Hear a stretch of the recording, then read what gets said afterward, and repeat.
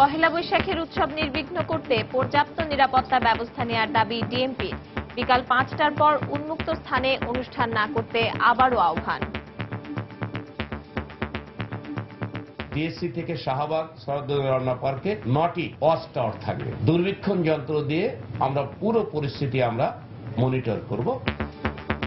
নববর্ষে টিএসসিতে নারী লাঞ্ছনা মামলার সুরাহা হয়নি এক বছরেও। আইন শৃঙ্খলা রক্ষা বাহিনীর ব্যর্থতাকে দুষছেন বিশ্লেষকরা। আগে থেকে বললেন যে আপনি নিরাপত্তা তিন স্তর বিশিষ্ট নিরাপত্তা কিন্তু পরবর্তীতে যখন আমরা দেখলাম একটা ঘটনা হয়ে গেল আপনি সেটা উদ্ঘাটন করতে পারছেন না তখন সেটা কি ইঙ্গিত করে? দেখছিলেন প্রধান শিরোনাম। সন্ধ্যা সময়ের সঙ্গে আছে আমি পারমিতা হিম। এবং আমি জাফর সাদিক। এবার অন্যান্য শীর্ষ সংবাদ। বর্ষবরণ সহ টানা তিন দিনের সরকারি ছুটিতে অনেকেরই রাজধানী ছাড়ার প্রস্তুতি। বাস ট্রেন ও বিমানের নব্বই শতাংশ আগাম টিকিট বিক্রি নিষেধাজ্ঞা অমান্য করে চলছে ইলিশ ধরার মহোৎসব। চট্টগ্রামে কোটি টাকার জাটকা জব্দ। মাওয়া ঘাটে দেদার্সে বিক্রি হচ্ছে ইলিশ। বিএনপি জামায়াত সহিংসতা না করলে এক বছর আগেই প্রবৃদ্ধি সাত শতাংশ ছাড়িয়ে যেত বললেন প্রধানমন্ত্রী। বারো হাজার যাত্রী কমিয়ে হজ ও ওমরাহ নীতি এবং হজ প্যাকেজ সংশোধন প্রস্তাব মন্ত্রিসভায় অনুমোদন। এবছর যেতে পারবেন এক লাখ সতেরোশো জন। এবং খুলনা রাষ্ট্রায়ত্ত পাটকল শ্রমিকদের বকেয়া পরিশোধে ছয়শো কোটি টাকা বরাদ্দ ঘোষণা প্রতিমন্ত্রীর। টাকা না পাওয়া পর্যন্ত আন্দোলন অব্যাহত রাখার ঘোষণা।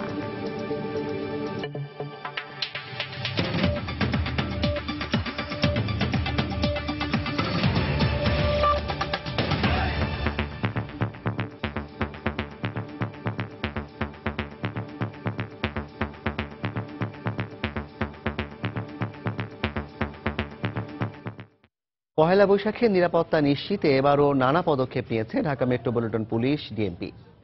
পর্যাপ্ত নিরাপত্তার পাশাপাশি ঢাকা বিশ্ববিদ্যালয় এলাকায় থাকবে নয়টি ওয়াচ টাওয়ার। দুপুরে ডিএমপি মিডিয়া সেন্টারে এক সংবাদ সম্মেলনে বিষয়ে বিস্তারিত জানিয়ে ডিএমপি কমিশনার আসাদুজ্জামান মিয়া বলেন, পহেলা বৈশাখে উৎসব মুখর জনতাকে নিরাপত্তা ঝুঁকিতে না ফেলতেই বিকেল পাঁচটার পর উন্মুক্ত স্থানে অনুষ্ঠান করার উপর বিধিনিষেধ আরোপ করা হয়েছে। তিনি আবারও জানান মঙ্গল শোভাযাত্রা হতে বহন করা গেলেও পরা যাবে না মুখোশ বাজানো যাবে না ভুবুজেলা দু হাজার এক সালে পহেলা বৈশাখে রমনা বটমূলে ছায়ানটের অনুষ্ঠানে বোমা হামলার পরও উৎসব পাগল বাঙালি দমে যায়নি একটুও। এবং আপনারা ধীরে স্থির হন। বছর বছর বেড়েছে এর সার্বজনীনতা বেড়েছে লোক সমাগম কিন্তু প্রতি বছর বাংলা বর্ষবরণে নিরাপত্তা ইস্যুটি প্রধান বিষয় হয়ে দাঁড়ায়। গেল বছর টিএসসিতে নারী লাঞ্ছনার ঘটনা উৎসব আয়োজনে নতুন করে উদ্বেগের কারণ হয়ে দেখা দিয়েছে।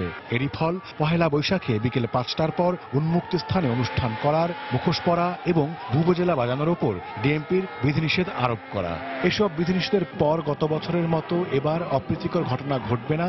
ডিএমপি এমন নিশ্চয়তা দিচ্ছে কিনা এই প্রশ্নের উত্তরে ডিএমপি কমিশনার সর্বোচ্চ নিরাপত্তার আশ্বাস দিলেন। এ ধরনের ঘটনা ঘটবে না। এটি আমার মনে হয় আল্লাহ পাক রাব্বুল আলম ছাড়া কোনো মানুষের পক্ষে বলা সম্ভব না। এটা কোনো যৌক্তিক, এটা কোনো যৌক্তিক প্রশ্ন হলো না। আমাদের পক্ষ থেকে সর্বোচ্চ আন্তরিক প্রচেষ্টা থাকবে।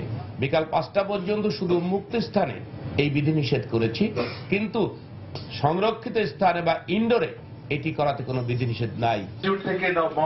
বাংলা নববর্ষের প্রথম দিন রমনা ও সোহরাওয়ার্দী উদ্যান এবং ঢাকা বিশ্ববিদ্যালয় ও রবীন্দ্র সরোবর এলাকায় রাস্তার চব্বিশটি জায়গায় ব্যারিকেড থাকবে। পাশাপাশি থাকবে বিকল্প পথ ও পার্কিং এর ব্যবস্থা। এছাড়া ঢাকা বিশ্ববিদ্যালয় এলাকায় সিসি ক্যামেরার পাশাপাশি থাকবে নয়টি ওয়াচ টাওয়ার। ডিএমপি কমিশনার বললেন সবই করা হচ্ছে জনতার নিরাপত্তার স্বার্থে। নিরাপত্তা বিঘ্নিত হওয়ার কোনো আশঙ্কা নেই। সুনির্দিষ্ট কোনো হুমকিও নেই। জনগণকে যাতে নিরাপত্তার কোনো ঝুঁকি নিতে না হয়, সেজন্যই আমরা একজন পেশাদার বাহিনী হিসাবে এটাকে নিশ্চিদ্র করার নানামুখী পদক্ষেপ নিয়েছি। ডিএমপি কমিশনার আরও জানান, কোনো প্রতিষ্ঠান মঙ্গল শোভাযাত্রাকে যাতে নিজেদের প্রচারে ব্যবহার করতে না পারে, সেদিকেও খেয়াল রাখবে পুলিশ। ওমর ফারুক, সময় সংবাদ, ঢাকা। পহেলা বৈশাখে টিএসসি এলাকায় নারী লাঞ্ছনার ঘটনায় একজনকে গ্রেপ্তার করে দুই দফায় রিমান্ডে নিলেও মামলার রহস্যের জট খোলেনি এখনও। এর আগে কোনো আসামি গ্রেপ্তার করতে না পেরে মামলার চূড়ান্ত প্রতিবেদন দিয়েছিল পুলিশ। গোয়েন্দা কর্মকর্তারা বলছেন, নারী ও শিশু নির্যাতন দমন আইনে দুই মাসের মধ্যে প্রতিবেদন দেওয়ার বিধান থাকায় চূড়ান্ত প্রতিবেদন দিতে তারা বাধ্য হয়েছিলেন। এদিকে অপরাধ বিজ্ঞানীরা বলছেন, এক বছরেও এরকম একটি চাঞ্চল্যকর মামলার নিষ্পত্তি করতে না পারাটা আইন শৃঙ্খলা রক্ষা বাহিনীর ব্যর্থতার পরিচায়ক। খান মোহাম্মদ রুমেলের রিপোর্ট। গেল বছর পহেলা বৈশাখের সন্ধ্যায় টিএসসি এলাকায় বখাটেদের হাতে লাঞ্ছিত হন অনেক নারী। যার চিত্র ধরা পড়ে আশপাশের নিরাপত্তা ক্যামেরায়। দেশজুড়ে আলোড়ন তোলা ওই ঘটনার পর অভিযোগ ওঠে, বখাটেদের কয়েকজনকে ধরে পুলিশে সোপর্দ করা হলেও ছেড়ে দেয়া হয় তাদের। এ অবস্থায় চারদিকে যখন নিন্দার ঝড়, তখন পনেরোই এপ্রিল শাহবাগ থানায় নারী ও শিশু নির্যাতন দমন আইনে মামলা করে পুলিশ। তেইশ এপ্রিল মামলার তদন্ত ভার দেওয়া হয় গোয়েন্দা পুলিশের হাতে। আসামিদের ধরিয়ে দিতে ঘোষণা করা হয় পুরস্কার। কয়েক মাস তদন্তের পরেও কাউকে গ্রেফতার করতে না পেরে আদালতে চূড়ান্ত প্রতিবেদন দেয় পুলিশ। তবে চলতি বছরের আঠাশ জানুয়ারি কামাল নামে একজনকে গ্রেফতারের পর মামলাটি পুনরুজ্জীবিত করার আবেদন করা হয়। কামালকে দুই দফায় সাত দিন রিমান্ডে নিলেও পাওয়া যায়নি কিছুই। আগে থেকে বললেন যে আপনি নিরাপত্তা তিন স্তর বিশিষ্ট নিরাপত্তা কিন্তু পরবর্তীতে যখন আমরা দেখলাম একটা ঘটনা হয়ে গেল আপনি সেটা উদ্ঘাটন করতে পারছেন না। তখন সেটা কি ইঙ্গিত করে? এখানে মানুষ আসবে পয়লা বৈশাখ উদযাপন করবে এটা তার একটা ঐতিহ্য। হঠাৎ করে আপনি একটা নিরাপত্তা দিতে পারলেন আপনি দুইজন পুলিশ ওখানে দাঁড় করিয়ে রাখলেন। এই ব্যর্থতার দায় এসে চাপালেন যে বহিরাগতরা এসে করে গিয়েছে। মানে এই যে ধরনের বক্তব্য দেওয়া এর ফলে কি হয় যে আমরা আসলে দিন দিন আরও বেশি রক্ষণশীল হয়ে যাই। পুলিশ বলছে ভিডিও ফুটেজ থেকে আটজনকে শনাক্ত করেছিলেন তারা। তবে ঘটনার ব্যাপারে কোনো অভিযোগকারী কিংবা সাক্ষী না পাওয়ায় আসামি গ্রেফতার করা সম্ভব হয়নি। কিন্তু আসামি খুঁজে পাওয়ার সঙ্গে সঙ্গেই মামলা পুনরুজ্জীবিত করার আবেদন করা হয়। নারী নির্যাতন মামলার একটা টাইম বার আছে। আমরা দু দুবার টাইম বাড়িয়ে দিয়েছি বাট আসলে আমরা ইনভেস্টিগেশনে কাউকে আসামি গ্রেপ্তার করতে পারিনি ভিক্টিমও পাইনি। বড় একটা পর্যায়ে আমরা মামলাটা পুলিশ রিপোর্ট দিতে বাধ্য হয়ে যাই। একজন আসামি লালবাগ এলাকা থেকে গ্রেপ্তার হয়। যদিও তার অবস্থান সে বলে বাট আমরা আসলে তার সংশ্লিষ্ট তখন পর্যন্ত সে স্বীকার করেনি। কামাল ছাড়া আরও যে সাতজনকে শনাক্ত করা হয়েছিল তাদের গ্রেফতার করতে পারলে মামলার রহস্যের জট খুলবে বলেও আশা পুলিশ কর্মকর্তাদের। খান মোহাম্মদ রুমেল সময় সংবাদ ঢাকা। দোরগোড়ায় বৈশাখ। তাই এবারও পান্তা ইলিশ সংস্কৃতির নামে সারা দেশে চড়া মূল্যে বিক্রি হচ্ছে ইলিশ। এ চিত্র দেখা গেল মুন্সীগঞ্জের মাওয়া ঘাটে মাছের পাইকারি বাজারেও। এর কারণ হিসেবে বৈশাখে পান্তা ইলিশের ভ্রান্ত ধারণাকে দায়ী করছেন বাজারে আসা ক্রেতা বিক্রেতারা। মাওয়ায় মাছের আড়ত ঘুরে এসে আরও জানাচ্ছেন সাজিদ রাজু। ভোরের আলো সবে ফুটতে শুরু করেছে। তারও আগে হাকডাক বেড়ে গেছে মাওয়ার মাছের পাইকারি আড়তে। দূর দূরান্ত থেকে আসা ক্রেতাদের ভিড়ও বাড়তে শুরু করেছে। তবে অন্য সব মাছ ছাপিয়ে সবার নজর ইলিশের দিকে। কিন্তু কেন? যে আগে কিনছি আপনার দশ হাজার টাকা হে আলি অনেক কিনতে হয় পনেরো হাজার আঠারো হাজার টাকা কিনতে হয়। আমরা বিশ হাজার বাইশ হাজার টাকা হালি বিক্রি করি। এটা আছে আপনার এক কেজির মতন।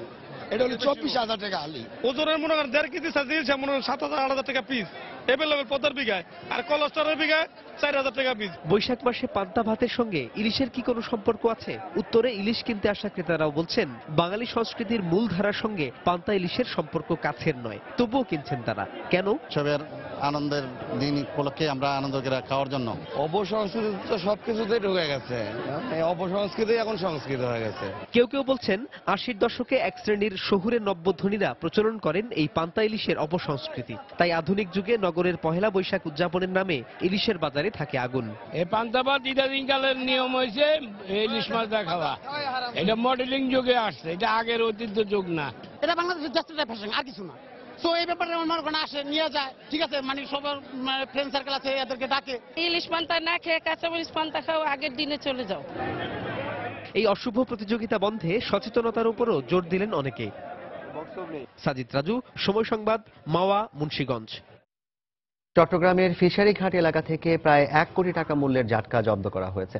সকালে র্যাব, জেলা প্রশাসন ও মৎস্য অধিদপ্তর অভিযান চালিয়ে এসব জাটকা জব্দ করে।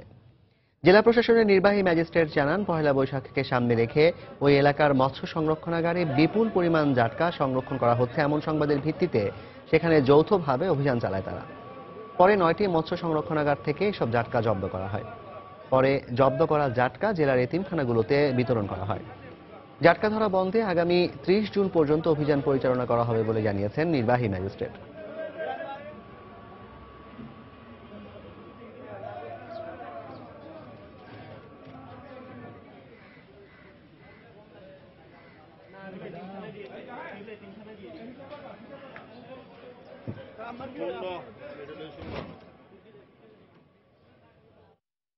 শুক্র, শনিবার সরকারি ছুটি।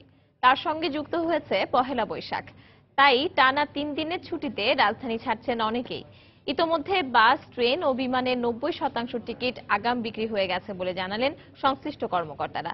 আর বোনাস হিসেবে নববর্ষ উপলক্ষে ট্রাভেল এজেন্সিগুলো দিচ্ছে বিশেষ প্যাকেজও। আরও জানাচ্ছেন ফেরদোস লিপি। নাগরিক ব্যস্ততা আর শহুরে একঘেয়েমি জীবন ছেড়ে নববর্ষকে বরণ করতে এবার দুদিন সাপ্তাহিক সরকারি ছুটির সাথে যুক্ত হচ্ছে পহেলা বৈশাখের ছুটিও। উৎসবের এই সময়টাকে নিজের মতো করে কাটাতে তাই অনেকে যাচ্ছেন গ্রামের বাড়ি। আবার পরিবার পরিজন নিয়ে অনেকে উপভোগ করতে যাচ্ছেন বিভিন্ন টুরিস্ট স্পটে। চাহিদার কারণে তাই অধিকাংশ বাসের টিকিটের বিক্রি প্রায় শেষ পর্যায়ে বলে জানান কর্মকর্তারা। শুক্র শনি দুই দিন বন্ধ বৃহস্পতিবারে নববর্ষটা হচ্ছে। সেক্ষেত্রে আমরা চিন্তা ভাবনা করতেছি যে সমুদ্র সৈকত দেখা হবে নববর্ষটা পালন করা হবে। টিকিট বুকিং মানে নব্বই শতাংশ প্রায় শেষ। আর এখন বাকি দশ পার্সেন্ট আছে ওইটা দু একদিনে শেষ হয়ে যাবে। একই অবস্থা ট্রেন ও আকাশপথেও। তেরো তারিখের ট্রেনেই চাপ বেশি হবে কারণ ওই দিন ভ্যাকেশনটা শুরু হবে বিশেষ করে বিকাল থেকে শুরু করে তিনটার পর থেকে শুরু করে যে ট্রেনগুলো আছে রাত পর্যন্ত ওইটাই সবচেয়ে বেশি। কক্সবাজারের মধ্যে আপনার অলরেডি সব টিকিট বিক্রি হয়ে গেছে এবং তেরো তারিখে এগুলো প্রায় শেষের পথে। আর মোটামুটি বেশ রাশ যাচ্ছে। আর এই ছুটিকে আকর্ষণীয়ভাবে কাটাতে ট্রাভেল এজেন্সিগুলো দিচ্ছে নানা অফার ও ছাড়। অন্যান্য সময়ের তুলনায় নববর্ষের আগে একটু আমরা একটু বুকিং টুকিং একটু বেশি হচ্ছে। বিশেষ আয়োজন বলতে আমাদের স্বাভাবিক যে প্রাইস ওখান থেকে আমরা একটু অনার করে থাকি অফার করে থাকি স্পেশাল অফার করে থাকি। এছাড়া সরকারি এই টানা বন্ধে লঞ্চের অগ্রিম টিকিট বিক্রিও প্রায় শেষ পর্যায়ে বলে জানান সংশ্লিষ্ট কর্মকর্তারা। ফেদুস লিপি সময় সংবাদ ঢাকা। সন্ধ্যার সময় আরও থাকছে। পিএসসির নিয়োগ প্রক্রিয়া বাতিলের দাবিতে রাজধানীতে আবারও ডিপ্লোমা নার্সদের বিক্ষোভ। প্রধানমন্ত্রীর কার্যালয়ে স্মারকলিপি দেওয়ার চেষ্টা, পুলিশের বাধা।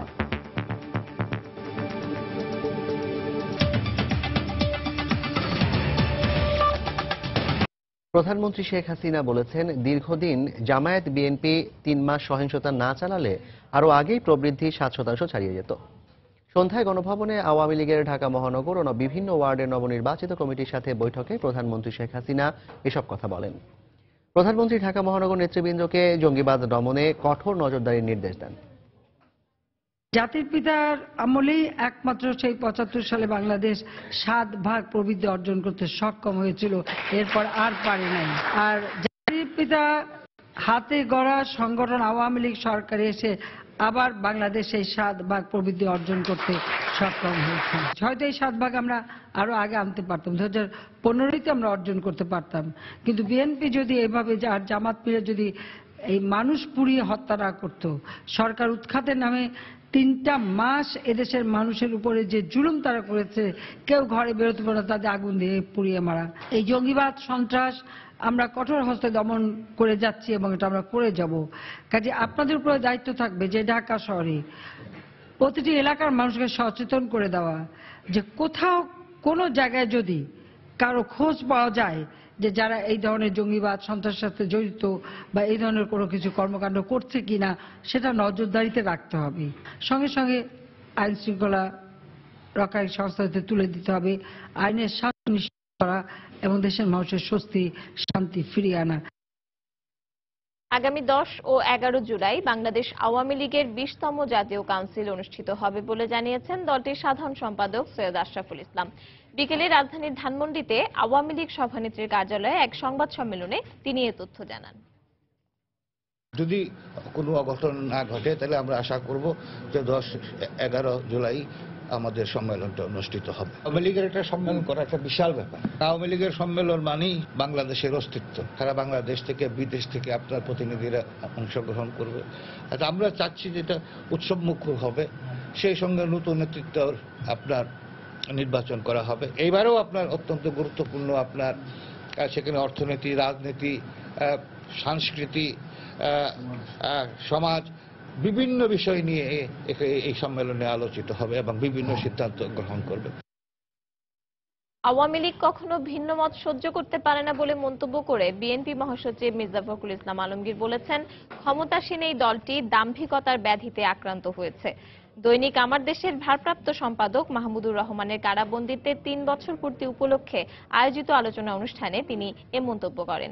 দেশে গণতন্ত্র ফিরিয়ে আনতে হলে ভুল ত্রুটি শুধরে নিয়ে দলের মধ্যে ঐক্য সৃষ্টির পাশাপাশি জাতীয় ঐক্য গড়ে তুলতে হবে বলেও মন্তব্য করেন ফখরুল। আওয়ামী লীগ যে কখনোই কারও মত সহ্য করে না। আওয়ামী লীগ যে সহিষ্ণুতার রাজনীতি করে না। আওয়ামী লীগ যে সব সময় একটা দাম্ভিকতার ব্যাধিতে ভুগছে একথা নতুন করে আমাদের জানার দরকার হ্যাঁ নিশ্চয়ই ভুল ত্রুটি আছে আমাদের, কিন্তু সেই ভুল ত্রুটিকে শুধরে নিয়ে গণতন্ত্রের জন্য সঠিক পথে এগোতে চাই, তাহলে আমাদের সবচেয়ে বড় যে জিনিস দরকার হবে সেটা দলের মধ্যে যেমন ঐক্য দরকার হবে, জাতীয় ঐক্য দরকার হবে যে গণতন্ত্রকে ফিরে পাওয়ার জন্য আমাদের একটি জাতীয় ঐক্য তৈরি করতে। সৌদি সরকারের নির্দেশনা মেনে এবছর সরকারিভাবে হজ যাত্রীর সংখ্যা বাড়িয়ে এবং বেসরকারিভাবে যাত্রীর সংখ্যা কমিয়ে জাতীয় হজ নীতি ও প্যাকেজের সংশোধনীতে অনুমোদন দিয়েছে মন্ত্রিসভা। সকালে সচিবালয়ে মন্ত্রিসভার নিয়মিত বৈঠকে এ অনুমোদন দেওয়া হয়। সভা শেষে মন্ত্রিপরিষদ সচিব জানান, এবছর বেসরকারি ও সরকারিভাবে মোট এক লাখ আট হাজার সাতশো আটান্ন জন হজে যেতে পারবেন। ইসলাম ধর্মের পাঁচটি স্তম্ভের অন্যতম হচ্ছে হজ পালন। আর এ উপলক্ষে প্রতি বছর বাংলাদেশ থেকে সৌদি আরবের পুণ্যভূমিতে পাড়ি জমান লাখ লাখ মুসল্লি। যে জন্য সরকারি বেসরকারি পর্যায়েও নেওয়া হয় নানা ব্যবস্থাপনা। তবে এবারের হজ ব্যবস্থাপনায় বেশ কিছু সংশোধনী এনেছে সরকার। সোমবার সকালে প্রধানমন্ত্রী শেখ হাসিনার সভাপতিত্বে মন্ত্রিসভার নিয়মিত বৈঠকে চলতি বছরের হজ প্যাকেজের সংশোধনী চূড়ান্ত করে মন্ত্রিসভা। সভা শেষে মন্ত্রিপরিষদ সচিব জানান, এবছর সরকারিভাবে হজ যাত্রীর সংখ্যা পাঁচ হাজার বাড়লেও কমেছে বেসরকারি পর্যায়ে। হজ এজেন্সিগুলোর যাত্রী বহনের সংখ্যাতেও আনা হয়েছে পরিবর্তন। সরকারি ব্যবস্থাপনায় পাঁচ হাজারের পরিবর্তে দশ হাজার এবং বেসরকারি ব্যবস্থাপনায় একানব্বই হাজার সাতশো আটানব্বই জনসহ মোট এক লক্ষ এক হাজার সাতশো আটান্ন জন হজযাত্রীর সংখ্যা নির্ধারণ করা। মন্ত্রিপরিষদ সচিব আরও জানান এবারে কোরবানির টাকা ইলেকট্রনিক পেমেন্টের মাধ্যমে লেনদেন করতে হবে হাজিদের। অন্যান্য সার্ভিসেও অনুসরণ করতে হবে অনলাইন পদ্ধতি। কাউকে ব্যক্তিগতভাবে কোরবানি করার এখন সুযোগ দেওয়া হবে না। আবাসন বাড়ি ভাড়া পরিবহন ও ক্যাটারিং খরচ বাবদ যত অর্থ প্রদান করা হবে, সবগুলো ই পেমেন্ট করতে হবে। সৌদি আরবের আরাফাতের ময়দানে ওয়াটার কুলিং ব্যবস্থার জন্য প্রত্যেক হাজিকে একশো পঞ্চাশ রিয়াল অতিরিক্ত অর্থ পরিশোধ করার কথাও জানিয়েছেন মন্ত্রিপরিষদ সচিব। আগামী দশ সেপ্টেম্বর পবিত্র হজ অনুষ্ঠিত হবার কথা রয়েছে। দেবাশিস রায়, সময় সংবাদ, ঢাকা। মানবতা বিরোধী অপরাধের মামলায় কিশোরগঞ্জের শামসুদ্দিন আহমেদ সহ পাঁচ জনের বিচার কাজ শেষ হয়েছে। এ বিষয়ে যে কোনো দিন রায় দেবেন আন্তর্জাতিক অপরাধ ট্রাইব্যুনাল। দুপুরে উভয় পক্ষের আইনজীবীদের যুক্তিতর্ক উপস্থাপন শেষে বিচারপতি আনোয়ারুল হকের নেতৃত্বে তিন সদস্যের ট্রাইব্যুনাল এ আদেশ দেন। এই পাঁচজন আসামির মধ্যে শুধুমাত্র শামসুদ্দিন আহমেদ কারাগারে রয়েছেন, বাকিরা পলাতক রয়েছেন। রাষ্ট্রপক্ষের আইনজীবীর দাবি এই পাঁচজনের বিরুদ্ধে আনা একাত্তরে হত্যা, আটক নির্যাতনের সাতটি অভিযোগেরই প্রমাণ করতে পেরেছেন তারা।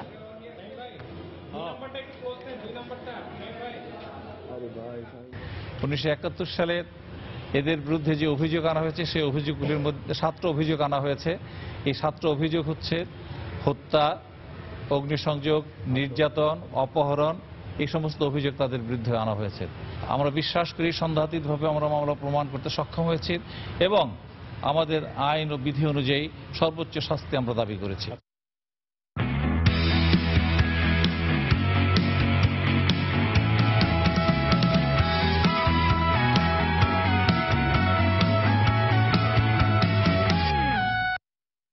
ঢাকা প্রিমিয়ার লিগের প্লেয়ার ড্রাফট শেষ।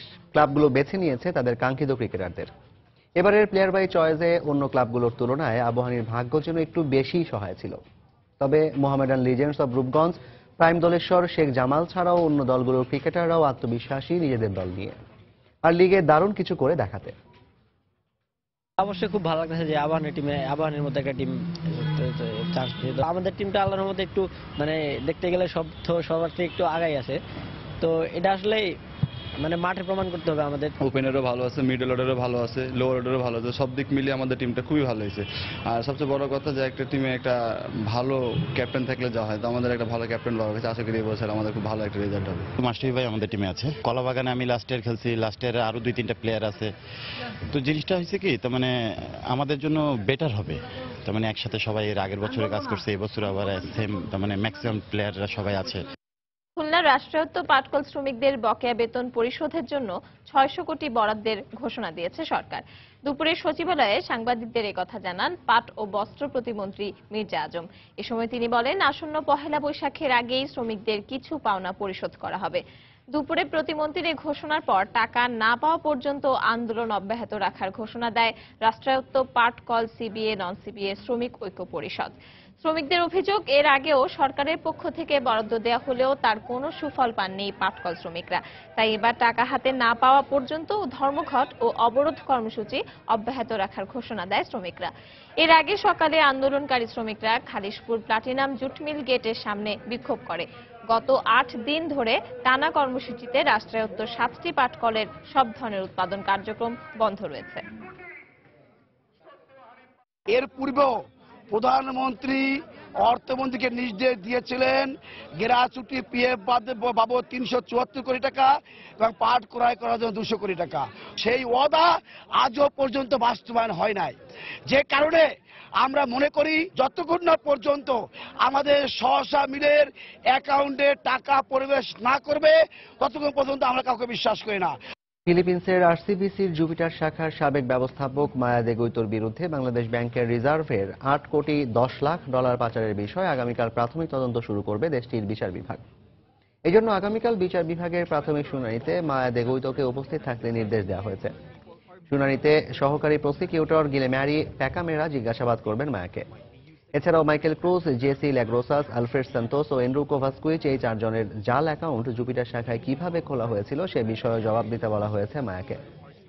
বাংলাদেশ ব্যাংকের রিজার্ভের অর্থ যুক্তরাষ্ট্রের federal reserve bank of New York থেকে ফিলিপিন্সের আরসিবিসির জুপিটার শাখার এই চারটি অ্যাকাউন্টে পাচার হয়। এর আগে দেগুইতোর বিরুদ্ধে মামলা করে আরসিবিসি ও দেশটির anti money laundering council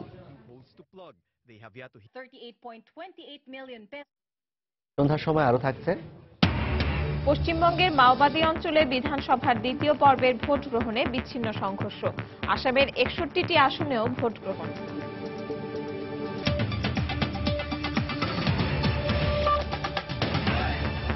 RFL water pump. পানি দেবে টেনশন নয়। পিএসসির নিয়োগ বিজ্ঞপ্তি বাতিল সহ ব্যাচ ভিত্তিক নিয়োগের দাবিতে প্রধানমন্ত্রী বরাবর স্মারকলিপি দিতে গেলে পুলিশের বাধার মুখে সড়ক অবরোধ করে বিক্ষোভ করে নিয়োগ বঞ্চিত নার্সরা। সকালে জাতীয় প্রেস ক্লাবের সামনে থেকে বিক্ষোভ মিছিল নিয়ে প্রধানমন্ত্রীর কার্যালয় বরাবর যাত্রা করে বাংলাদেশ ডিপ্লোমা বেকার নার্সেস অ্যাসোসিয়েশন ও Bangladesh basic graduate nurses society. মিছিলটি হাইকোর্ট মোড়ে পৌঁছালে পুলিশের বাধার মুখে সড়ক অবরোধ করে বিক্ষোভ করে তারা। পরে প্রশাসনের আশ্বাসের ভিত্তিতে অবরোধ তুলে নেয় তারা।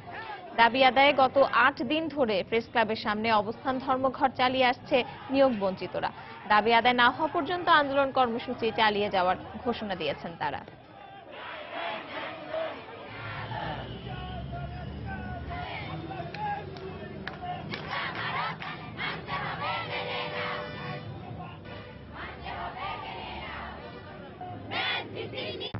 বিক্ষিপ্ত ঘটনার মধ্য দিয়ে শেষ হল ভারতের বিধানসভা নির্বাচনে আসামের একষট্টিটি ও পশ্চিমবঙ্গের একত্রিশটি আসনের ভোট গ্রহণ। তীব্র দাবদাহ উপেক্ষা করে ভোটারদের লাইনে দাঁড়িয়ে ভোট দিতে দেখা যায়। পশ্চিমবঙ্গের মাওবাদী অঞ্চলের প্রথম দফার দ্বিতীয় পর্বের ভোটে বাঁকুড়া, বর্ধমান এবং পশ্চিম মেদিনীপুরের একশো তেষট্টি জন প্রার্থীর ভাগ্য নির্ধারণে ভোট দেন ভোটাররা। বর্ধমানের জামুরিয়ায় একটি ভোট কেন্দ্র থেকে কয়েক বস্তা তাজা বোমা উদ্ধার করে পুলিশ। সময় বোমা উদ্ধারকে কেন্দ্র করে তৃণমূল এবং বামফ্রন্টের সমর্থকদের মধ্যে সংঘর্ষ হয়। পশ্চিমবঙ্গে মোট দুইশো চুরানব্বইটি আসনের নির্বাচনে ছয় দফায় ভোট গ্রহণ সম্পন্ন হবে। পাঁচ মে সবশেষ দফার ভোটের পর উনিশ মে একই সঙ্গে ভোট গণনা করা হবে।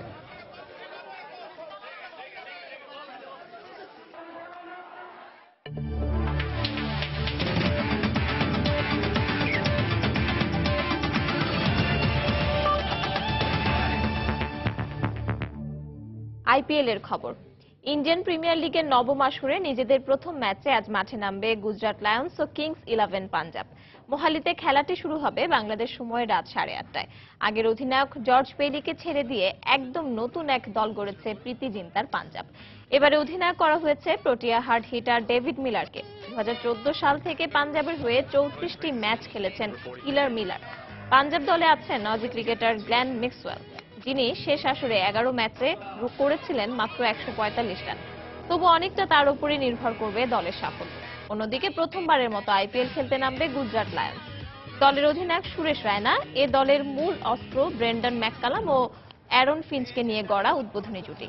এছাড়াও আছেন Dwayne Bravo, Dale Steyn, James ফকনারের মতো তারকা খেলোয়াড়রা। সন্ধ্যার সময় এ পর্যায়ের শীর্ষ সংবাদগুলো জানিয়ে দিচ্ছি আরেকবার। পহেলা বৈশাখে পর্যাপ্ত নিরাপত্তা নেয়ার দাবি ডিএমপি। ঢাকা বিশ্ববিদ্যালয় এলাকায় নয়টি ওয়াচ টাওয়ার। বিকেল পাঁচটার পর উন্মুক্ত স্থানে অনুষ্ঠান না করার আবারও আহ্বান। বর্ষবরণ সহ টানা তিন দিনের সরকারি ছুটিতে অনেকেরই রাজধানী ছাড়ার প্রস্তুতি। বাস ট্রেন ও বিমানের নব্বই শতাংশ আগাম টিকিট বিক্রি। নিষেধাজ্ঞা অমান্য করে চলছে ইলিশ ধরার মহোৎসব। চট্টগ্রামে কোটি টাকার জাটকা জব্দ মাওয়াঘাটে দেদারসে বিক্রি হচ্ছে ইলিশ। বিএনপি জামায়াত সহিংসতা না করলে এক বছর আগেই প্রবৃদ্ধি সাত শতাংশ ছাড়িয়ে যেত বললেন প্রধানমন্ত্রী। এবং বারো হাজার যাত্রী কমিয়ে হজ ও ওমরা নীতি এবং হজ প্যাকেজ সংশোধন প্রস্তাব মন্ত্রিসভায় অনুমোদন। এবছর যেতে পারবেন এক লাখ সতেরোশো জন। এই ছিল সন্ধ্যার সময়। যে কোনো খবর পেতে ভিজিট করুন সময় নিউজ ডট টিভি আর সঙ্গে থাকুন সময়